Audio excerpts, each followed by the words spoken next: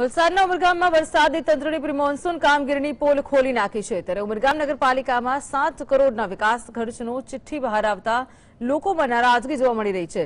એટલું જ નહીં, શહેરમાં વરસાદ બાદ રસ્તાઓ ઉપર ખાડા પડ્યા છે તો ગટર પર હલકી ગુણવત્તાવાળા ઢાંકણાઓ લાગ્યા હોવાનો પણ આક્ષેપ છે. હવે સાત કરોડના વિકાસ કામો થયા હોવાનું પણ સામે આવતા વિપક્ષ દ્વારા વિજિલન્સ તપાસની માંગણી કરાઈ છે.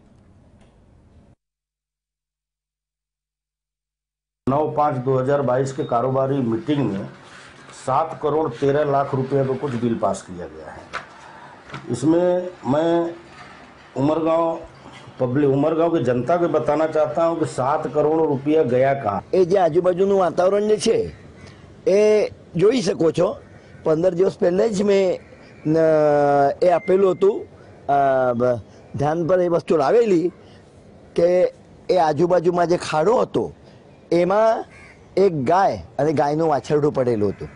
શું? જેમ તેમ જેમ તેમ એને બહાર કાઢવામાં આવ્યો. શું? અને ત્યાર પછી નગરપાલિકાને સૌને ખ્યાલ છે કે અહીંયા શું બિના બને છે. છતાં બી એક બી નગરપાલિકાનો નગરસેવક અહીંયા આવેલો નથી. વલસાડ જિલ્લાની ઉમરગામ નગરપાલિકા વારંવાર વિવાદોમાં રહી છે. આગામી બાર તારીખે જે છે તે સામાન્ય સભા છે. એની અંદર પણ હોબાળો થવાનો છે. સામાન્ય સભા ગરમ ગરમ રહેવાની છે. પાલિકા દ્વારા જે છે તે લગભગ અત્યારે એક એજન્ડા બહાર મૂકવામાં આવે છે, જેની અંદર સાત કરોડ રૂપિયાનો ખર્ચો બતાવવામાં આવ્યો છે. મારી પાછળ આ ગૌરવપથ છે ગૌરવપથ ઉપર પણ જે છે તે ચોમાસા દરમિયાન ટેલિફોનની લાઈનો નાખવા માટે જે છે તે બ્લોક ખુલ્લા કરી દેવામાં આવ્યા છે.